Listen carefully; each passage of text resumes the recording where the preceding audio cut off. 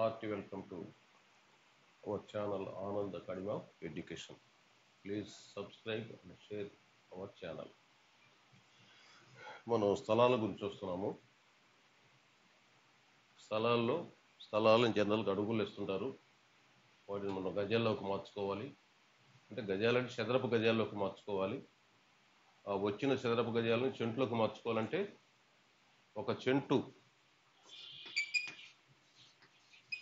వచ్చి ఎన్ని చదరపు గజాలు? నలభై ఎనిమిది పాయింట్లు. నాలుగు చదరపు గజాలు. జనరల్గా అయితే మామూలు లెక్కలు ఏం చేస్తుంటారు? ఒక సెంటు అంటే నలభై ఎనిమిది చదరపు గజాలు అని చెప్పి చెప్తుంటారు. ఆ చదరపు గజాలు వచ్చినప్పుడు చదరపు గజాలు అనేవి సెంటులోకి మారాయాలంటే మీరు ఏం చేయాలి? పర్ఫెక్ట్గా ఉండాలంటే నలభై ఎనిమిది పాయింట్ నాలుగుతో భాగించాలి. అంటే నలభై ఎనిమిది చదరపు నలభై ఎనిమిది పాయింట్ నాలుగుతో భాగించాలి. లేదు పాయింట్ నాలుగుది ఉందనుకుంటే చదరపు గజాలు ఇచ్చినప్పుడు సెంటులకు మారేయాలంటే నలభై ఎనిమిది భాగించాలి. నలభై ఎనిమిది తోటి కానీ భాగిస్తే మీకు సెంట్లు వచ్చేస్తాయి. అది అడుగులు ఇస్తారు పొడవు ఉంటుంది వెడల్పు ఉంటుంది. ఆ రెండింటిని హెచ్చవేయాలి ఆ రెండింటిని హెచ్చవేస్తే చదరపు అడుగులు వస్తాయి. చదరపు అడుగులు వస్తాయి.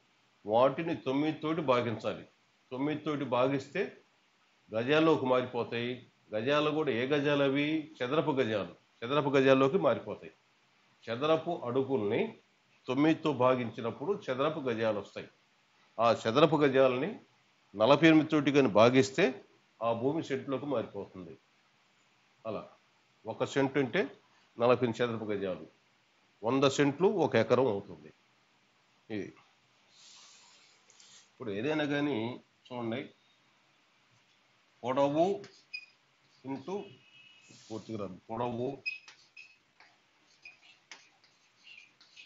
ఇంటూ వెడల్పు. పొడవు ఇంటూ వెడల్పు ఈక్వల్ టు చదరపు యూనిట్లు.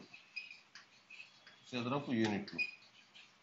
దీన్ని ఎలా రాస్తారంటే చదరపు యూనిట్ని అబ్రివేషన్గా శా పెట్టి ఫుల్ స్టాప్ పెట్టి ఇవ్వు అంటారు. చదరపు యూనిట్లు.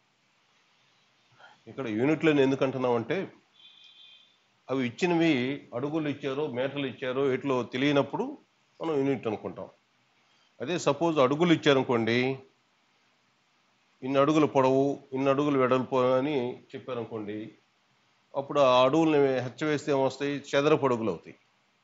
లేదు మీటర్లు ఇచ్చారనుకోండి ఇన్ని మీటర్ల పొడవు ఇన్ని మీటర్ల వెడల్పు అని ఇచ్చినప్పుడు వాటిని హెచ్చవేస్తే ఏమొస్తాయి? చదరపు మీటర్లు అవుతాయి. అక్కడ యూనిట్ అని చెప్పాం ఇంకా అక్కడ మనకు ఆ యూనిట్ అంటే దేనిలో లెక్కిచ్చారో తెలుస్తుంది కదా మీటర్ అన్నాం కాబట్టి అక్కడ చదరపు మీటర్లు అని రాస్తాం. అదే గజాలు ఇస్తే ఈ- ఇన్ని గజాల పొడవు ఇన్ని గజాల వెడల్పు అని హెచ్చవేస్తే చదరపు గజాలు అవుతాయి. ఇలా. ఇప్పుడు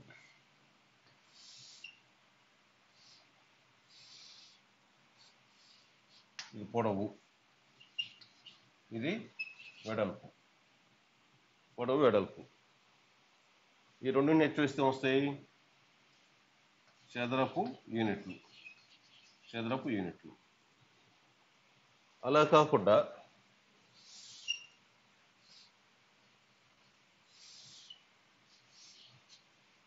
పొడవు ఎక్స్ అడుగులు వెడల్పు వై అడుగులు అని ఇచ్చారు. ఈ రెండింటిని హెచ్చరిస్తే ఏమొస్తాయి? X into Y. చదరపు అడుగులు అవుతాయి. ఇవి ఇవేంటి? చదరపు అడుగులు. పొడవుని దీన్ని దీన్ని హెచ్చవేస్తే చదరపు అడుగులు వస్తాయి ఒక ఎగ్జాంపుల్ చూద్దాం.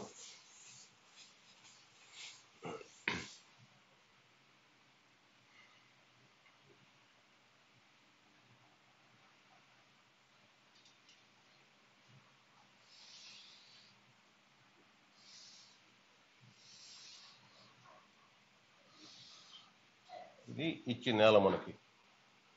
ఇది వెడల్పు యాభై నాలుగు అడుగులు అనుకోండి. యాభై నాలుగు అడుగులు. పొడవు ఒక డెబ్బై రెండు అడుగులు అనుకోండి. ఆ అంటే అడుగులు. ఇప్పుడు ఇది ఎన్ని సెంట్లు స్థలం అవుతుందో చూడాలి మనం. ఇది అడుగులు కదా. ఇది అడుగులు కాబట్టి ముందు గజాల్లోకి మారాలి కదా. ఒక అడుగుకి ఎన్ని గజాలు? మూడు గజాలు. కాబట్టి ఇది గజాల్లోకి మారాలంటే ఏం చేయాలి? దీన్ని మూడు పెట్టి భాగించాలి. మామూలు పొడవుకు సంబంధించినటువంటి పొడవుకు సంబంధించినప్పుడు అడుగులు ఇచ్చి గజాల్లోకి మార్చండి అంటే ఒక గజము ఈక్వల్ టు మూడు అడుగులు. మూడు అడుగులు. దీనికి ఎంత విలువ? మూడు అడుగులు. కాబట్టి అడుగులు ఇచ్చినప్పుడు దాన్ని గజాల్లోకి మార్చాలంటే మూడుతో భాగిస్తాం. అప్పుడు పొడవచ్చు. దీన్ని? యాభై నాలుగు మూడుతో భాగించానుకోండి. పద్దెనిమిది వచ్చుద్ది. అంటే ఇది పద్దెనిమిది గజాలు. ఇది పద్దెనిమిది గజాలు. ఎందుకంటే సపోజ్ రూపాయి అంటే ఎన్ని పైసలు? వంద పైసలు. ఐదు వందల పైసలు అంటే? ఐదు వందల పైసలు ఎన్ని రూపాయలు అవుతాయి అంటే? ఏం చేస్తాం మనం? వెంటనే వంద పెట్టి భాగిస్తాం. ఐదు వందల పైసలు ఎన్ని రూపాయలు అంటే ఐదు రూపాయలు అని చెప్పి చెప్తాం. ఐదు రూపాయలు. ఈ ఐదు రూపాయలు ఎలా వస్తుంది? ఒక రూపాయికి వంద పైసలు కాబట్టి ఈ ఐదు వందల పైసల్ని వంద పెట్టి భాగించాం. ఐదు వందలు బై వంద. రెండు సున్నాలు క్యాన్సిల్ అవుతాయి కదా? ఈక్వల్ టు ఐదు రూపాయలు. కాబట్టి ఒక గజానికి మూడు అడుగులు కాబట్టి యాభై నాలుగు అడుగులు ఎన్ని గజాలు అవుతుందంటే దాన్ని మూడుతో భాగించడమే. మూడుతో భాగిస్తాం. యాభై నాలుగు బై మూడు. అంటే పద్దెనిమిది. యాభై నాలుగు మూడుతో భాగిస్తే పద్దెనిమిది వస్తుంది. అంటే ఇది పద్దెనిమిది గజాలు పొడవు ఇది. పద్దెనిమిది గజాలు. ఇటు డెబ్బై రెండు అడుగులు. దీన్ని గజాల్లోకి మార్చాలంటే ఈ పొడవును ఏం చేయాలి? పొడవు మనకు విస్తీర్ణం కాదు వైశాల్యం కాదు. పొడవు మాత్రమే. ఎన్ని గజాల పొడవు ఉంటుంది ఇది? అడుగులు ఇచ్చారు. దీన్ని వెంటనే మూడుతో భాగించండి. మూడుతో భాగిస్తే ఏమొస్తుంది? మూడు ఇరవై నాలుగులు. ఇరవై నాలుగు గజాలు ఇది. ఇరవై నాలుగు గజాలు. అడుగులు అయితే యాభై నాలుగు అడుగులు. గజాలకు మార్చుకుంటే ఈక్వల్ టు ఏంటి? మూడు పద్దెనిమిదిలు. పద్దెనిమిది గజాలు. ఇది మూడుతో భాగిస్తే ఇరవై నాలుగు గజాలు. ఇప్పుడు దీని దీన్ని హెచ్చరిస్తే వస్తుంది మనకి చదరములు వస్తుంది విస్తీర్ణం వస్తుంది. ఈ నేల యొక్క ఈ మొత్తం అవుతుంది. ఈ మొత్తం భాగం వచ్చేస్తుంది. విస్తీర్ణము వైశాల్యము ఇదంతా ఇదంతా వచ్చేస్తుంది. దేన్ని దీన్ని దీన్ని హెచ్చరిసినప్పుడు కాబట్టి అది ఎన్ని సెంట్లు చూడాలి అంటే ఏం చేస్తారు? యాభై నాలుగు అడుగులు ఇచ్చింది అడుగులు ఇచ్చారు. దీన్ని మూడుతో భాగిస్తున్నాం. ఇంటూ పొడవు ఎంత? డెబ్బై రెండు. గజాల్లోకి మార్చాలి కదా? కాబట్టి మూడుతో భాగిస్తున్నాం. ఈక్వల్ టు మూడు పద్దెనిమిదిలు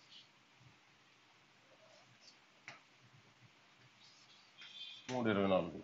అంటే చదరపు గజాలు. పద్దెనిమిది ఇంటి ఇరవై నాలుగు చదరపు గజాలు ఇదంతా కూడా. ఇప్పుడు ఇది సెంటులోకి మారాలంటే ఏం చేయాలి? పద్దెనిమిది ఇంటూ ఇరవై నాలుగు. వెయ్యి నలభై ఎనిమిది. నలభై ఎనిమిది చదరపు గజాలు కదా? ఒక సెంటు ఈక్వల్ టు నలభై ఎనిమిది చదరపు గజాలు. కాబట్టి చదరపు గజాలని మనం నలభై ఎంతో భాగిస్తే వస్తుంది సెంట్లో వస్తుంది ఇప్పుడు దీన్ని సెంట్లోకి మారుస్తున్నాం నలభై ఎంతో భాగిస్తున్నాం. ఇరవై నాలుగు రెండ్లు రెండు తొమ్మిదిలు తొమ్మిది సెంట్లు. తొమ్మిది సెంట్లు. కాబట్టి ఇదంతా కూడా ఎంత అవుతుంది? తొమ్మిది సెంట్లు నేల అవుతుంది? తొమ్మిది సెంట్లు అవుతుంది ఇది. ఏం చేయాలి? అడుగులను ఏం చేయాలి? పొడవుని వెడల్పు నెచ్చివేయాలి ఇక్కడ మూడు ఇంటూ మూడు ఇంటూ తొమ్మిదే కదా. అంటే పొడవుని గజాల్లోకి మార్చుకోవాలి వెడల్పుని గజాలోకి మార్చుకోవాలి.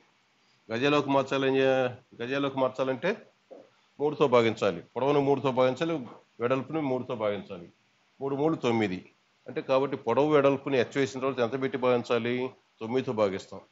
అప్పుడు చదరపు గజాలు వస్తుంది. మనకు సెంట్లోకి మారాలంటే నలభైతో మా- భాగిస్తాం. ఎందుకు నలభైతో భాగించాలంటే ఒక సెంటు ఈక్వల్ టు నలభై చదరపు గజాలు. పర్ఫెక్ట్గా రావాలనుకుంటే నలభై ఎనిమిది పాయింట్ నాలుగుతో భాగించుకోవాలి. నలభై ఎనిమిది పాయింట్ నాలుగుతోటి భాగించుకోవాలి. అది వదిలేసాను నేను పాయింట్ నాలుగు తీసేసాను నేను నలభై ఎనిమిది తోటి భాగించాను. అంటే ఎన్ని సెంట్లు అయింది? ఇప్పుడు ఇదంతా కూడా తొమ్మిది సెంట్లు అయింది. తొమ్మిది సెంట్లు ఇది. కాబట్టి ఒక కొలత ఇచ్చి పొడవు వెడల్పుగా నెచ్చవేస్తే మనకి అది చదరపు యూనిట్లో వస్తుంది. దాని యొక్క వైశాల్యం చదరపు యూనిట్లో వస్తుంది. పొడవు వెడల్పు నెచ్చవేసినప్పుడు వైశాల్యం వస్తుంది. ఆ వైశాల్యం ఏమంటారు? విస్తీర్ణం అని కూడా అంటుంటారు. అవి వస్తాయి. పొడవు వెడల్పుని హెచ్చవేస్తే అలా కాకుండా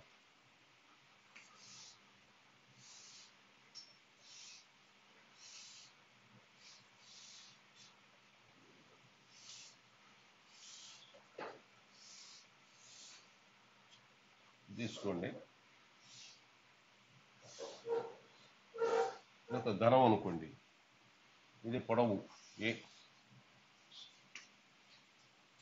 ఇది కింద వెడల్పు బి ఇది సి అనుకోనుకోండి. ఈ మూడింటిని కానీ అచ్చు వేస్తే ఇది ఎత్తు. అంటే పొడవు పొడవు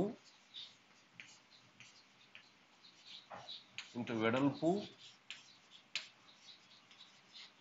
ఇంటూ ఎత్తు. ఈక్వల్ టు ఘనపు యూనిట్లు.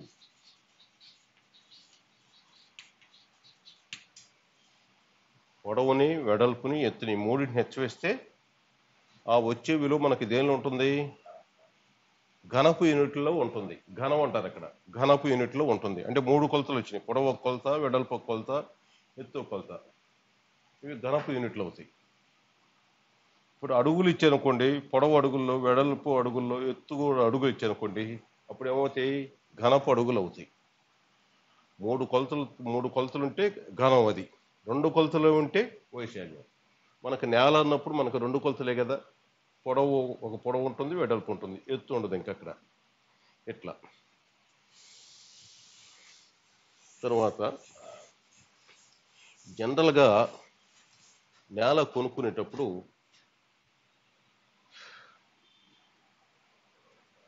దిక్కులు కూడా చూస్తుంటారు. ఈశాన్యం అని నైరుతి అని తూర్పు దిక్కు అని ఇది అడుగుని జస్ట్ అది ఇది వాస్తు కాదు కానీ దిక్కులు అనేవి మనకు తెలియాలి కాబట్టి నాలుగు దిక్కులు నాలుగు మూలలు మొత్తం ఎనిమిది. అవి ఏంటని చెప్తాను.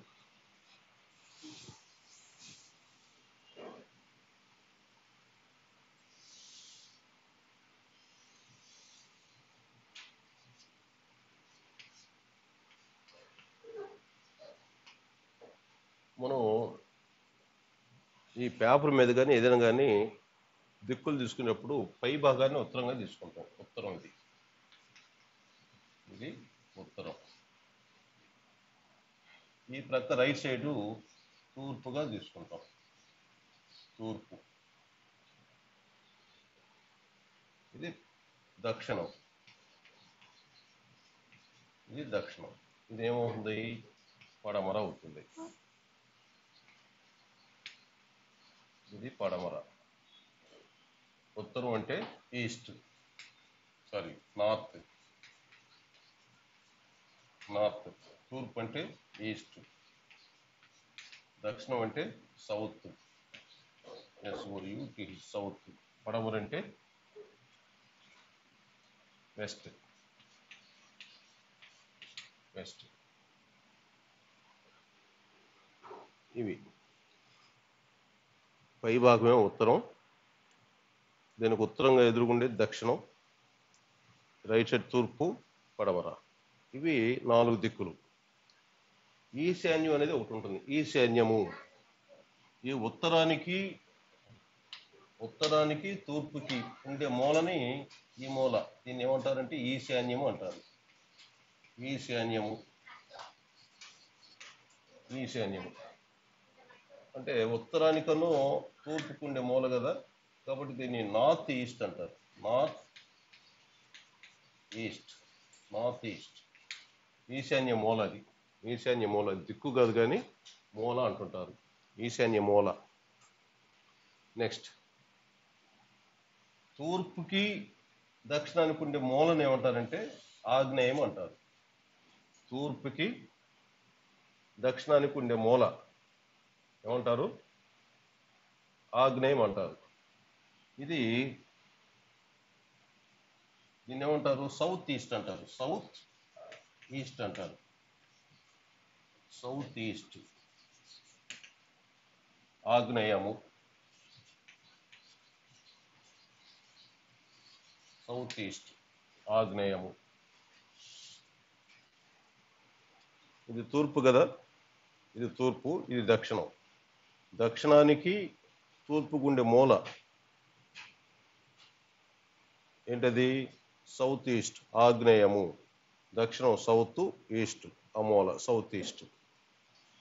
అలాగే ఈ దక్షిణానికి పడమరకు ఉండే మూల. దక్షిణానికి పడమరగా ఉండే మూలని ఏమంటారు ఆ నైరుతి అంటారు. నైరుతి. నైరుతి. నైరుతి. దీన్ని సౌత్ వెస్ట్ అంటారు. సౌత్ వెస్ట్ అంటారు. సౌత్ వెస్ట్ అంటారు అంటే నైరుతి మూల అని. అలాగే ఉత్తరానికి పడమర దిక్కుండే మూలని వాయవ్యము అంటారు. వాయవ్యము. ఉత్తరానికి పడమరికి పడమరి దిక్కు ఉండే మూలం ఏమంటారంటే వాయవయం అంటారు. ఇది ఉత్తరంతో స్టార్ట్ అవుతుంది కదా? ఇది north north west.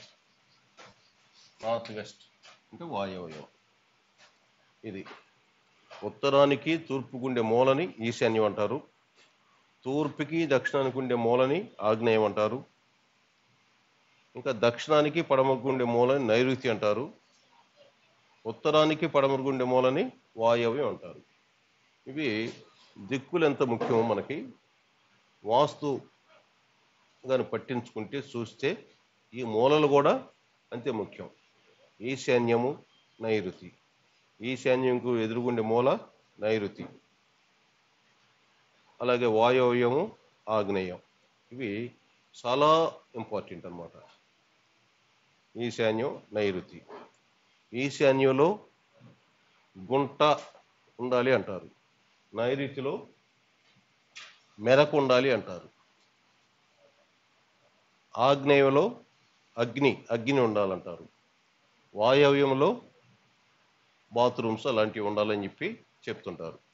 ఇవి చాలా మోస్ట్ ఇంపార్టెంట్ అని చెప్పి అనుకుంటున్నారు. ఇలా అవి కానీ తప్పితే వాళ్ళ యొక్క జీవితాలు కూడా బాగుండవు వాళ్ళ కుటుంబాలు కూడా బాగుండవు అని చెప్పి చెప్తుంటారు. అది జస్ట్ వాస్తు కాదు కానీ వీటి గురించి సింపుల్గా మీకు చెప్తాను నేను.